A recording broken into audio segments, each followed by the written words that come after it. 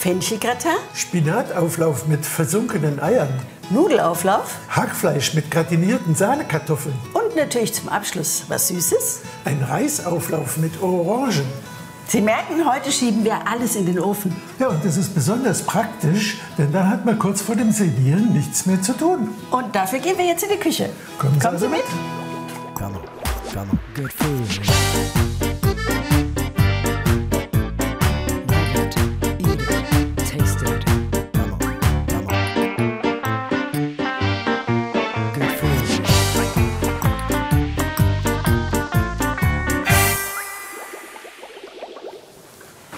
Wir fangen an mit dem Fenchelgratin. Das Fenchelgrün natürlich aufbewahren. Diese dicken Stiele kann man beseitigen. Und jetzt versuchen wir das mal hier in passende Stücke zu schneiden. Die ist so groß, die Knolle, dass ich sie jetzt viertle. Und wir brauchen eben als Basis für unseren Gratin ein Kartoffelpüree. Ich habe jetzt gerade frisch gekochte Kartoffeln, gebe ein bisschen Milch in den Topf, bringen das zum Kochen und setzen die Kartoffelpresse drauf. Also ich habe den Fenchel hier jetzt geviertelt und schneide diesen Strunk hier innen raus. Der ist hart und der ist manchmal auch faserig und dann kein Vergnügen. Soll ich die ersten Kartoffeln hier gleich reinpressen? Ja, sei so gut. Das ist auch schon heiß. Ich mache noch schnell ein bisschen Salz dran. Oh, dann mache ich noch mal eine Kartoffel, die kann ja dann hier ein bisschen So. auskühlen. Und dann haben wir hier das schon mal vorgeheizt. Auch da kommt Salz rein. Und die Fenchelstücke werden jetzt erstmal ein bisschen vorgegart. Ungefähr so 10 Minuten unter einem Deckel. Dann kann ich auch gleich mit der Butter kommen. Das kommt hier rein. Und ein bisschen Muskat brauchen wir noch.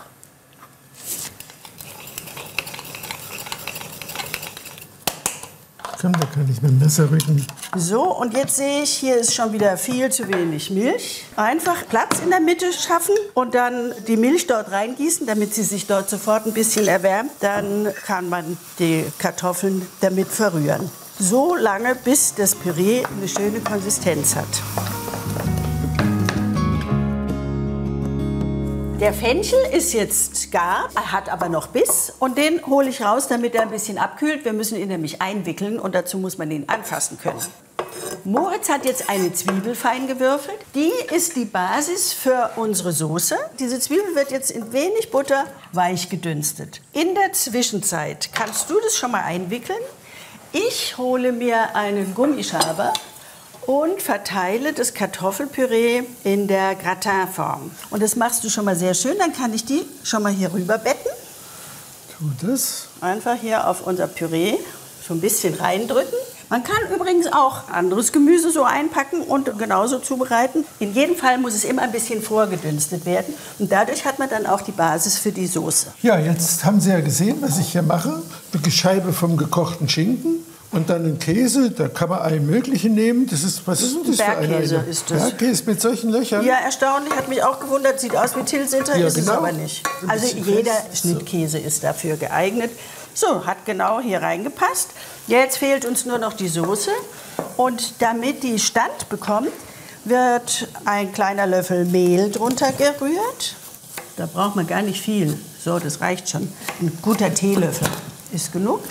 Und es schön mit der Butter vermischen und schwitzen lassen. Und dann kommt der Sud vom Fenchel. Und nicht immer alles auf Mal reinschütten, sondern immer nach und nach so viel, wie das Mehl und die Zwiebel aufnimmt. So, jetzt lassen wir es mal ein bisschen kochen und dann Genau. siehst du. Das muss jetzt ungefähr 10 Minuten leise köcheln, damit sich der Mehlgeschmack verliert. Und ich schneide hier schon mal dieses Fenchelgrün ein bisschen klein. Das brauchen wir nachher. Ich hole noch gleich die Sahne, die wir dann auch brauchen. Mit der geben wir ein bisschen Cremigkeit und zum Schluss kommt auch noch geriebener Käse drunter. So, das lassen wir noch mal ein bisschen einkochen. Und schließlich das feingeschnittene Fenchelgrün. So, und schon haben wir eine schöne cremige Soße, die jetzt absolut nicht gewürzt ist. Wir brauchen Zitronenschale. Wir brauchen vor allen Dingen auch Zitronensaft, denn eine gewisse Säure wollen wir auf jeden Fall. Gibst du mir mal die Zitronenpresse, bitte? So. Zitrone ist ganz wichtig. Sowohl für den Fenchel wie überhaupt macht auch die Soße leicht und macht den Käse bekömmlich. Das ist auf jeden Fall ein wichtiges Gewürz. Und Salz fehlt noch. Und jetzt kommt es hier einfach oben drüber. Und die ganze Form kommt in den Ofen. Schön gleichmäßig über den Schinken verteilen. Und dann in den Ofen damit bei 180 Grad Heißluft oder 200 Grad Ober- und Unterhitze. 20 bis 25 Minuten, bis alles brodelt und auch eine schöne Bräune entstanden ist. Nach 10 Minuten holen wir die Form noch mal aus dem Ofen, denn es fehlt ja noch die Knusperschicht. Und die geben wir erst später drauf, damit sie uns nicht zu dunkel wird. Geriebenen Käse und Semmelbrösel miteinander vermischen und gleichmäßig über der Oberfläche verteilen, also vorwiegend über die Röllchen. So. Und ein paar Butterflöckchen draufsetzen. Die sorgen eben für besondere Knusprigkeit und vor allen Dingen für Wohlgeschmack. Ja, und man muss unbedingt einen Salat dazu haben. Dazu Zwiebel, ein Löffelchen Senf, entweder einen Delikatesse-Senf oder einen französischen Dijon-Senf, Essig, ein bisschen Salz. Ich schieb's schnell in den Ofen. Gleiche Temperatur und jetzt noch mal eine Viertelstunde etwa. Kannst du mir hier einen Pfeffer reintun? Aber klar doch. So, das gibt noch Pikanz. Und dann wird das alles schön verrührt, damit sich der Senf auflöst und dann nachher die Soße schön bindet. Und wie immer nehmen wir ein Olivenöl. Wer anderes Öl will, ob jetzt Rapsöl oder Sonnenblumenöl, sollte möglichst kalt gepresst sein. Und im letzten Moment vor dem Servieren kommt dann der geschnittene Salat dazu. Da habe ich hier auf der einen Seite Zuckerhut und dann so einen wunderbaren Radicchio. Das ist natürlich von der Farbe sehr schön. Und ein paar Feldsalatröschen dürfen auch nicht fehlen. Direkt aus dem Ofen muss der Auflauf natürlich auf den Tisch und dann wird sofort angerichtet. Mit allem, was dran gehört, also Püree und Soße und Kruste. Und dann müssen die Gäste natürlich sofort da sein und sich den Mund verbrennen, weil es ist wirklich brüllend heiß. Ja, mach Ja. doch da mal was rein. Dann kann ich ein bisschen. Wir lieben den Salat ja direkt auf dem Teller. Aber ich weiß, dass damit fallen wir auch immer auf. Die meisten Menschen mögen es in einem extra Schüsselchen. Aber der Schwabe liebt eben die kalte Salatsauce auf dem warmen Gericht. Und dazu gibt's ein Ja. Schlückchen Wein. Ja, man könnte ähm, Muscatella nehmen, einen trockenen Muscatella aus äh, Mallorca zum Beispiel oder aus dem Languedoc. Aber ich habe diesmal eine Scheurebe. Ah, natürlich, ja. Herrn Scheus Rebe. Ja, So, super. dann muss man noch ein Wasser eingießen. Ja, das gehört immer auf den Tisch. Und dann kann ich nur guten Appetit wünschen. Das ist so praktisch. Das bereiten Sie vor, schieben es rechtzeitig in den Ofen. Und wenn die Gäste da sind, freuen Sie sich schon, wenn Sie sich an den Tisch setzen über den Duft. Ja, die ganze Familie. Guten Appetit. Sind ja nicht nur Freunde.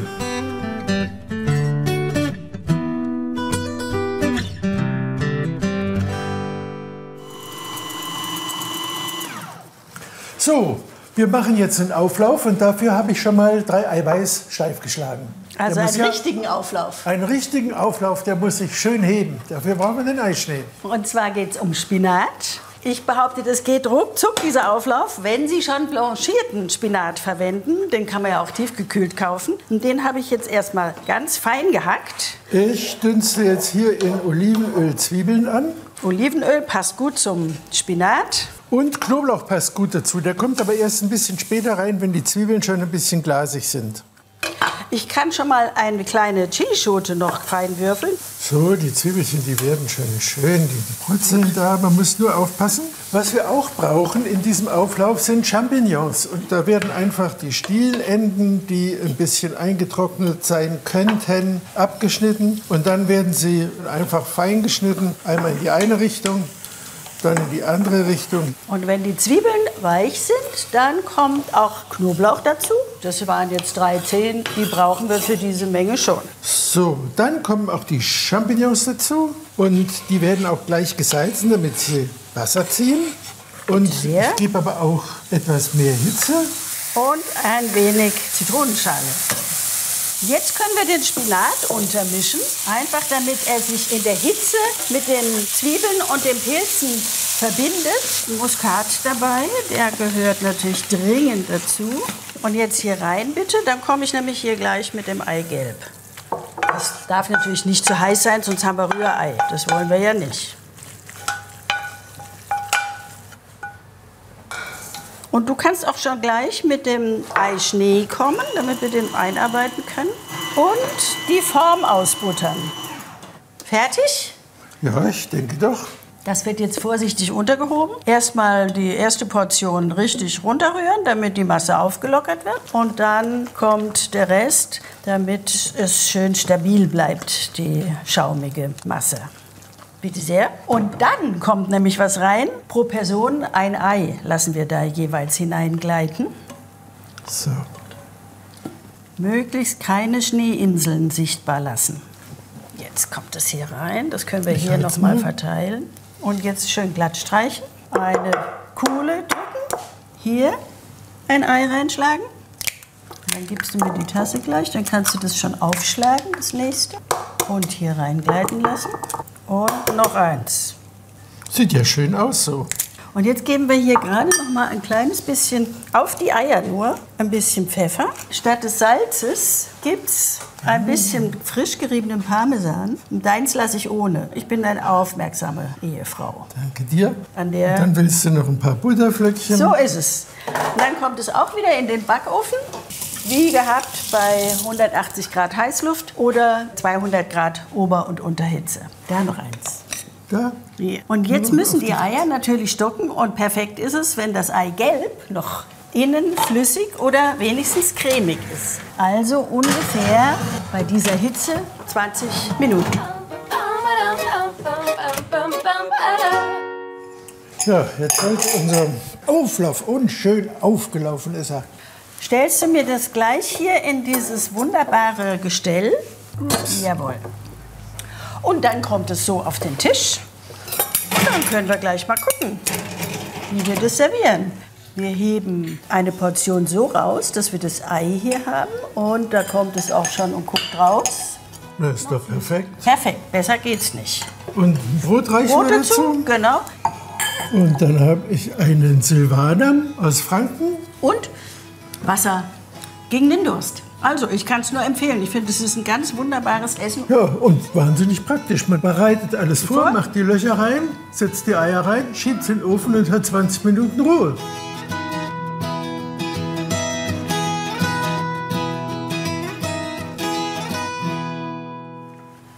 Ich habe jetzt hier Nudeln frisch gekocht.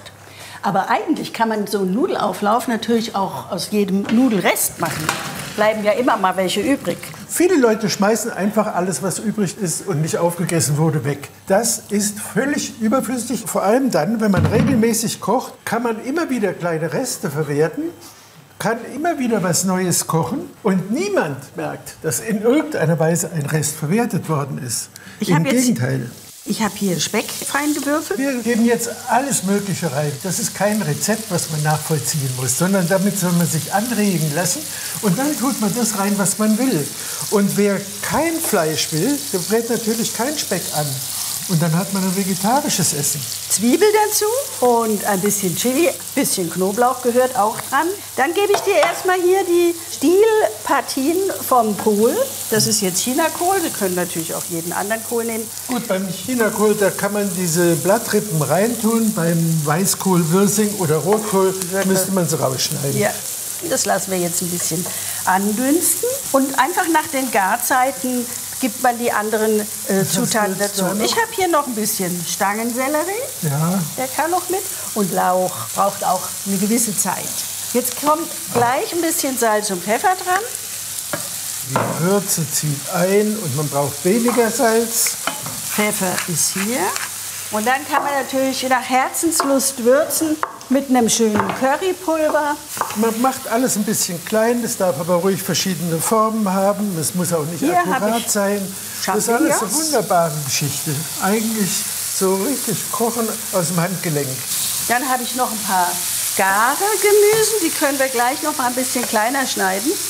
Rosenkohl, So, das ist jetzt eine schöne Hitze. Jetzt fängt es auch an, ein bisschen zu rösten und dadurch gibt es einen schönen Geschmack. Blumenkohl. Dann kommt der letzte Teil des Chinakohls, die feineren Blätter dazu. Die lässt man nur eben zusammenfallen, ebenso wie die Frühlingszwiebeln. Und die Tomate, die ich hier geschnitten habe, die kommt auch roh an die Nudeln. Ja, die sorgt für Frische. So, Wir können dieses hier schon mal untermischen. Dann habe ich auch noch ein paar Reste vom Tafelspitz. Das kann hier auch noch drunter. Da habe ich ja dann auch ein bisschen von der Brühe, das ich dann in den Guss rühren kann. Den machen wir aus einem Händchen voll Käse. Die anderen Käse brauchen wir zum drüberstreuen. Jetzt nehmen wir ein bisschen Sahne, das hilft immer. Und wir brauchen so zwei, drei Eier, je nachdem, wie groß die Form ist. so jetzt mische ich das hier auch Auch dazu. noch unter, genau. Das wird natürlich gewürzt. Pfeffer mit Salz. Salz vorsichtig, weil da ist ja auch schon Käse drin. Und ein bisschen Brühe. So sieht es eigentlich schon ganz äh, Ist- toll aus, Ja, ich. ist schön. Und soweit lässt sich das natürlich auch wieder vorbereiten. Mach mal hier ein bisschen glatt. Also ich entsinne mich ja an Nudelaufläufe aus meiner Jugend und da guckten dann ein paar Macaroni raus. Und die das verbrannten war, dann. Die waren verbrannt und knusprig und das war mir das Liebste. Ist ja auch das Beste. Und nochmal verteilen. Und jetzt kommt nämlich die eigentliche Kruste. Die entsteht aus einem restlichen Käse, grob gehackten Haselnüssen und aus Panko. Panko ist dieses Semmelbrösel, die gröber sind als das, was ich wir so das mal kennen. hier rüber, dann wenn das übergeht, dann macht das nichts. Und schön mischen. Ja, Ruhig noch ein bisschen Panko drunter. Und jetzt auch gleichmäßig verteilen. Und dann brauchen wir natürlich wieder Butter für Flöckchen. Ja, das sieht gut aus. Und dann wieder in den Ofen. Der ist weiterhin vorgeheizt auf 180 Grad Heißluft und 200 Grad Ober- und Unterhitze. Und wie lange braucht es? Und das braucht nur so 35 Minuten, sollte man das schon. Das muss ja richtig durchbacken. Und die Eier sollen binden. Naja, auf jeden Fall, wenn die Kruste braun ist, ist er Dann- fertig. So ist es. Einfach mal zwischendurch nachgucken. So, und in den Ofen damit.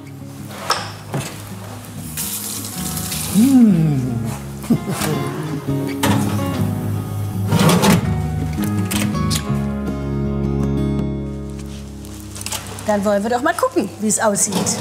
Jawohl, eine schöne Kruste, eine braun gebackene Oberfläche.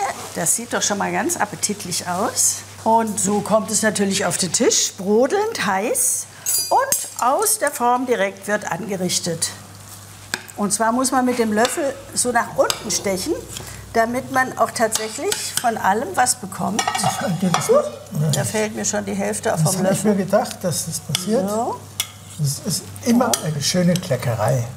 so, Und zu trinken gibt es einen erfrischenden Weißwein. Das kann ein Riesling sein oder ein Weißburgunder. Das sollten aber sehr frisch sein oder ein junger Rotwein. Und ich ziehe dazu ein Bier vor zu diesem Festessen. Ah, Und dann Siehst du, äh, bin ich sicher, es gibt niemand, der da widerstehen kann. Und kein Mensch kommt doch auf die Idee, dass das eine Resteverwertung ist. Und dann müssen Sie sich mal überlegen, was das kostet. Ein Apfel und ein Ei. So kann man viele Menschen glücklich machen. Wir Zum Wohl. wünschen guten Appetit.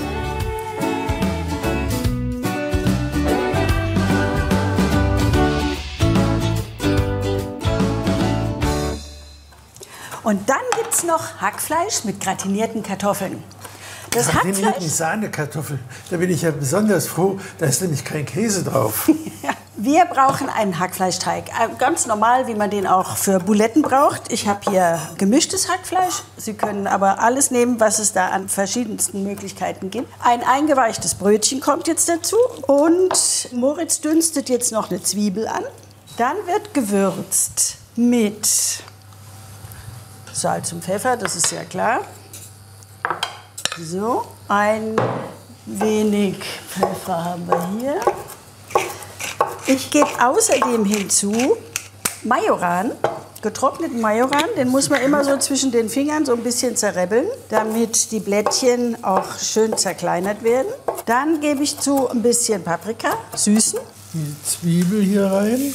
Soll ich dir mal die Petersilie hacken? Dann kannst du dich um die Zwiebel. schon dabei, Ach ne? so, Mal- dann kümmere ich mich um die Zwiebel, damit sie zwar weich wird, aber nicht richtig bräunlich. Und ich gebe außerdem noch hinzu die Chilischote. Und wenn die Zwiebeln schon so ein bisschen angegangen sind, dann kommt der Knoblauch dazu. Der soll auch mitdünsten. Gib ruhig die Petersilie schon dazu. Ja? Ja. Alles? Alles.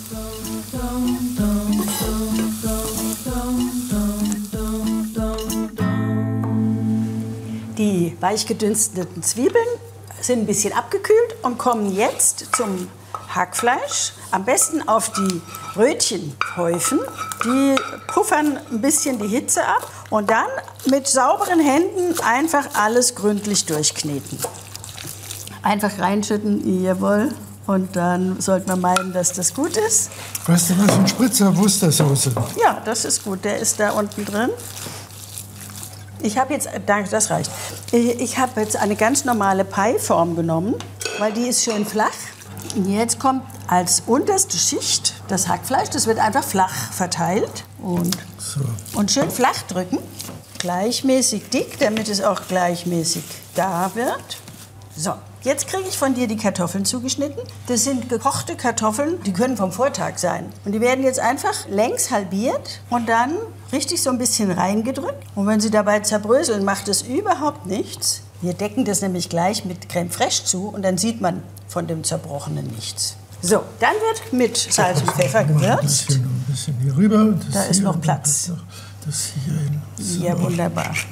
Also die Kartoffeln werden jetzt gewürzt. Vor allen Dingen mit dem Salz, nicht sparen, das, die, die brauchen ja immer so viel.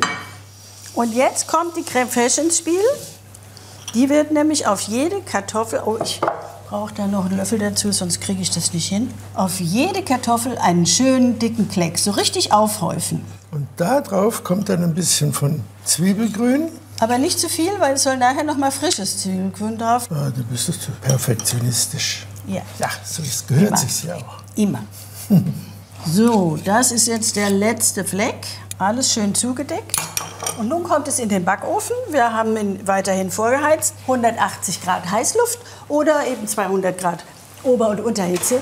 Und dann eine halbe Stunde backen.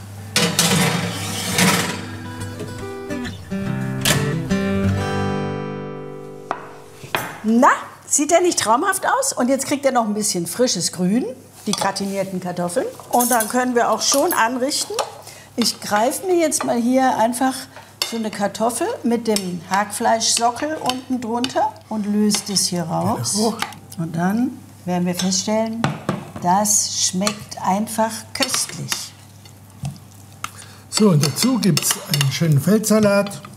Genau, Und da muss ein kleines bisschen von dieser Vinaigrette hier mit drauf. oben drüber. Das ist ganz Und entscheidend. das ist das Nonplusultra. Ein Lieblingsessen wird das, ich schwöre es Ihnen. Es ist wirklich wunderbar. Also nachmachen, wird Ihnen schmecken.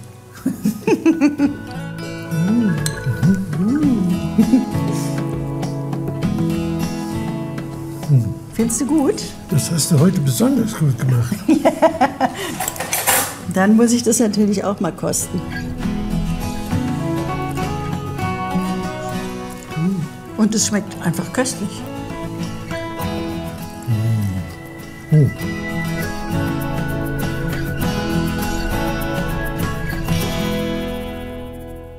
Und zum Schluss haben wir ja noch was Süßes versprochen. Deswegen machen wir jetzt hier einen Reisauflauf. Und um diesen Reis überhaupt erst zu garen, brauchen wir Milch, denn das ist Milchreis, der hier reinkommt. Und diese Milch soll jetzt gewürzt werden mit Orangenschale. Und die schneiden Sie mit dem Sparschäler direkt über der Milch ab. Und diese Milch jetzt aufkochen und dann mit der Orangenschale 10 Minuten ziehen lassen, damit der Geschmack sich ihr mitteilt. Und wenn die Orangenschale ihren Duft abgegeben hat, bleibt sie weiterhin drin. Wir geben noch ein Stückchen Zimtstange bei und eine Nelke. Außerdem Vanillezucker, so einen guten gehäuften Teelöffel und zwei Esslöffel Zucker. Und rühren dann in die aufkochende Milch 250 Gramm Milchreis. Also wir geben den hier rein bringen das nochmal zum Kochen und lassen es dann ausquellen, ungefähr 20 Minuten.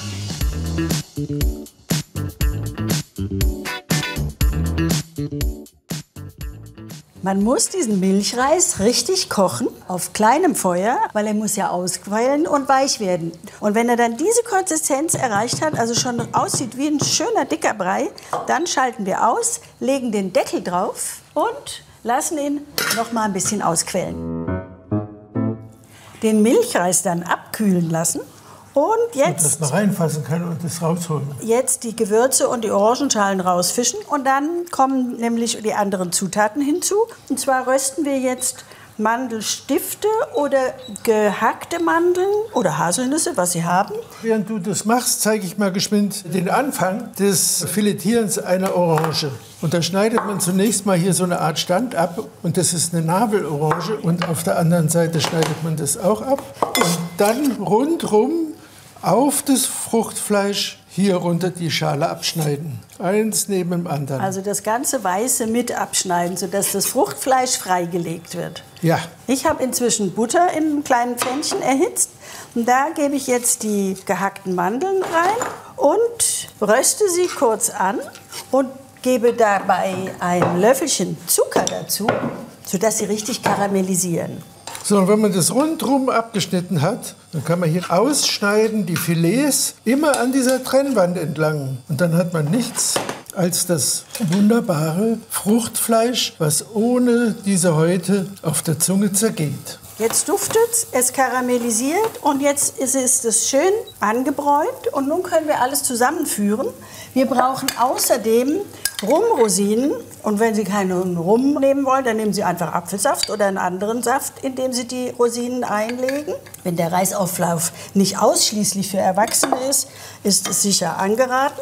Dann geben wir hier die gerösteten Nüsse dazu. Das mische ich einfach alles noch mal unter. Ich gebe auf jeden Fall erst noch mal die Eigelb rein. Eins, zwei, drei und verrühre das und kriege jetzt von dir die Filets. Ja? Und dann kommt der Eischnee drunter. So. Also das wird, glaube ich, ein ganz grandioser Reisauflauf. Das sage ich euch. Erst eine gute Portion so untermischen. Das ist immer wichtig beim Eischnee. Dann den Rest reingeben und dafür sorgen, dass die Masse luftig wird. Und dann braucht man so eine hohe Auflaufform, die diese Masse ein bisschen umgibt und in der sie schön langsam hochsteigen kann. Hm. Und jetzt wird es hier eingefüllt. Passt gar nicht alles rein. Nicht bis an den Rand füllen, weil es geht ja ein bisschen hoch. Und dann kommt es in den Ofen. Natürlich nicht mit der schmückenden Tischhülle, sondern nackt als Auflaufform. 180 Grad Heißluft oder 200 Grad Ober- und Unterhitze. Eine gute halbe Stunde. Dann wollen wir noch mal gucken. Ui, der sieht ja super aus, unser Reisauflauf. Den bringen wir natürlich auch direkt aus dem Ofen auf den Tisch. Und sieht der nicht fantastisch aus? Also ich kann mir viele Menschen vorstellen, die jetzt beglückt Jubeln. am Tisch sitzen. Ja, dann los, Dann- auf geht's. auch schön von oben nach unten. So, das Knusprige, das Schmelzende. Ja, Und da kommt jetzt noch, wenn man das hat, ein bisschen geschnittene Minze. Das kann man ja in manchen guten Supermärkten heute frisch ja das kriegst du finden. eigentlich überall. Und dazu gibt Immer in es Streifen schneiden ist viel besser, weil dann verteilt sich die Würze und ist, wenn man so ein ganzes Blatt da liegen hat, isst man es gar nicht mit. Das ist Aber schade das sieht drum. auch schön aus. Ja, Ne? So. Und dazu gibt es einen Drink für Erwachsene. Das ist ein Orangenlikör on the rocks. das war's schon wieder für heute. Wir hoffen, das hat Ihnen Spaß gemacht und Sie haben eine Idee, was Sie auch machen können, was auf jeden Fall spektakulär ist, wenig Arbeit macht im letzten Moment und alle Leute beeindruckt. Bis dann also. Tschüss. Tschüss.